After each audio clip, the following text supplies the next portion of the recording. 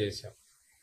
అందువల్ల ఈ ఊహాగానాలకో లేకపోతే బెట్టింగ్ల గురించో ఇంకొక ఏదో సోషల్ మీడియాలో సర్క్యులేట్ చేసుకోవడము క్రియేట్ చేసుకున్న దానివల్ల ఏం ఫలితం ఉంటుంది అని అనుకోవట్లా. దానివల్ల ఆ తాత్కాలిక ఆనందం పొందాలని వాళ్ళు అనుకుంటే వాళ్ళని అనుకోండి. మేమైతే వాటి జోలికి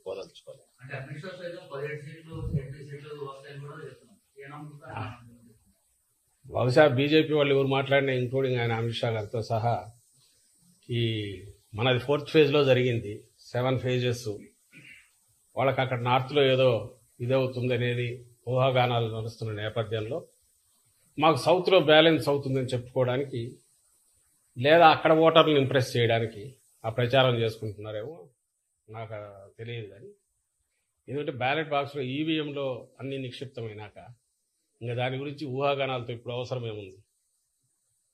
ఆయన ఆ మాట అంటున్నాడంటే బహుశా ఈ మూడు ఫేజుల మీద దాని ఇంపాక్ట్ ఇన్ఫ్లుయెన్స్ ఉంటుందని ఆయన కానీ ప్రధాని కానీ అనుకుంటుండొచ్చు. లేదా ఆ పార్టీ నాయకులు అనుకోవచ్చు. కూటమిలో ఉన్నారు కాబట్టి ఇక్కడ మేము వస్తాము ఇక్కడ ఇన్ని సీట్లు వస్తున్నాయంటే మిగిలిన చోట్ల ఓటర్ కూడా ఎలాగో వీళ్ళే గెలుస్తారు. బీజేపీ కూటమి వస్తుంది ఎన్డీఏ కూటమి వస్తుంది అని అనుకొని అక్కడ కూడా ఓట్లు వేస్తారని వాళ్ళు ఆశ కావచ్చు. అంతే తప్ప దానికి అంతకుమించి పెద్ద వాల్యూ ఉంది అని నేను అనుకోను పోస్టల్ బ్యాలెట్ విషయంలో దేశవ్యాప్తంగా ఎన్నికల కమిషన్ మన స్టేట్లో గొడవ పెడుతుంది. దాని మీదనే రిప్రజెంట్ చేశాం. ఎప్పుడు లేనిది. ఈసారి టీడీపీ వాళ్ళు పోస్టల్ బ్యాలెట్ అనగానే ఉద్యోగులు ఉద్యోగులంతా జగన్మోహన్ రెడ్డి గారికి వ్యతిరేకము లేదా వైఎస్ఆర్సీపీ వ్యతిరేకం వాళ్ళకి వాళ్ళు కాకులు లెక్కలు వేసుకొని ఉద్యోగులు అనేవాళ్ళు ఈ సమాజంలో భాగము. వాళ్ళు అట్టడి వర్గాల నుంచి వచ్చింటారు. వాళ్ళ కుటుంబాలకు సంబంధించిన వాళ్ళు స్నేహితులు బంధువులు వాళ్ళు వ్యవసాయదారులు లేదా ప్రభుత్వం నుంచి బెనిఫిట్స్ పొందుతున్న వాళ్ళు అన్నీ ఈ సొసైటీలో పార్ట్గా ఒక ఉద్యోగి అయినా ఈ రియాక్ట్ అవుతాడు తప్ప ఉద్యోగం అనేది క్లాస్ కాదు అది ఒక క్యాస్ట్ కాదు.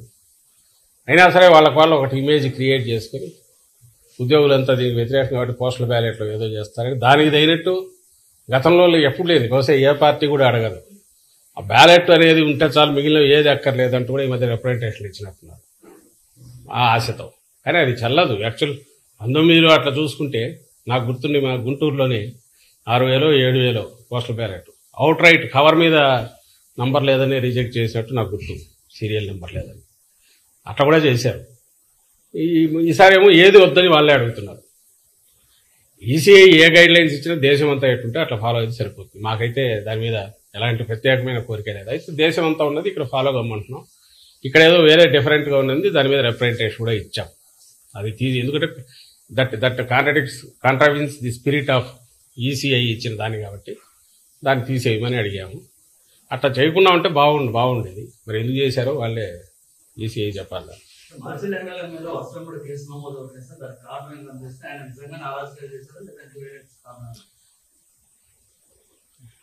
ఇప్పుడు మీరు గమనిస్తే గత పది పదిహేను రోజులుగా అసలు అక్కడ ఏం జరుగుతుంది మాచర్లు అంటే మాచర్ల సెంట్రిక్ గానే మొత్తం ఎల్లో మీడియా కానీ ఆ పార్టీ కానీ టీడీపీ కానీ నడుపుతున్నారు. ఒక ఎమ్మెల్యేని టార్గెట్గా పెట్టుకొని. ఈ నేపథ్యంలో రెండు చెప్పారు ఒకటి ఎన్నికల కమిషన్ అనేది ఏదైతే అంపైరింగ్ రోల్ చేయాలనో ఇక్కడ ఒక నిష్పక్షపాతంగా అటు ఇటు సైడ్ తీసుకోకుండా చేయాలి. చేస్తాదనే మా ఆశ చేయాలనే మా కోరిక.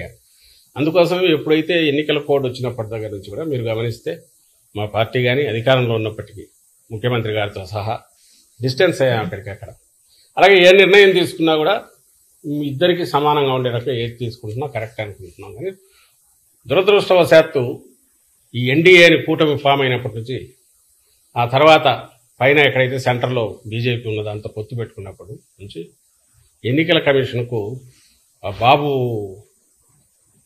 దోమపోట్లాగా బాబు బాబు బాబు కాటో లేక బాబు వైరస్ ఏదో సోకినట్టుంది. ఇన్ఫెక్షన్ వచ్చిందేమో అని అనిపిస్తుంది. అది ఎంతవరకు పోయిందంటే ముందు అనుమానంగా ఉండేది ఇప్పుడు నిజమని కూడా అనిపించే రకంగా ఎన్నికల కమిషన్ వ్యవహరిస్తున్న తీరు. ఇప్పుడు ఆల్ ప్రాక్టికల్ పర్పసెస్ ప్రభుత్వాన్ని ఎవరు నడుపుతున్నారంటే ఎన్నికల కమిషన్ నడుపుతోంది. ఆంధ్రప్రదేశ్ ప్రభుత్వాన్ని కాదు ఎక్కడైనా సరే. అది ఎంత జోక్యం చేసుకుంటోంది ఇప్పుడంటే ఇప్పుడు మీరన్న ఈ కేసుకు సంబంధించి మాచర్ల కేసులో కూడా అది కనిపిస్తుంది.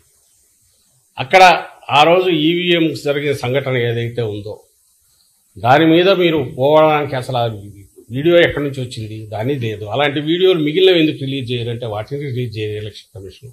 నువ్వు నిష్పక్షపాతంగా వ్యవహరిస్తున్నావు అంటే ఎక్కడెక్కడ ఈవీఎంలు డ్యామేజ్ అయినా ఉన్నాయో అవన్నీ బయట పెట్టాలి. బయట పెడుతూ దానికి ముందు తర్వాత జరిగినవి ప్రెమిసెస్లో ఏం జరిగిందో కూడా బయటకు రావాలి.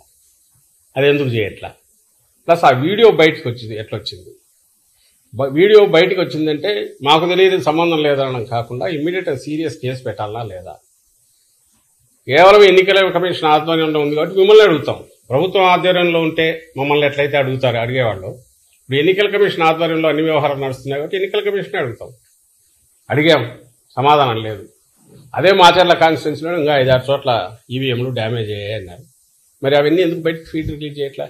సాధింపుతో ఇంత ఇదిగా ఒక వ్యక్తిని అసలు ఇక్కడ రానికుండా ఆపడము.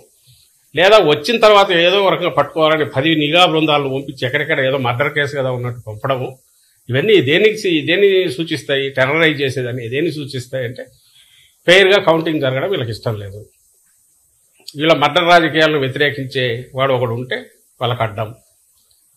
సో అది ఎన్నికల పోలింగ్ ముందు చూపారు పోలింగ్ రోజు చూపారు ఇప్పుడు కూడా చూపుతున్నారు.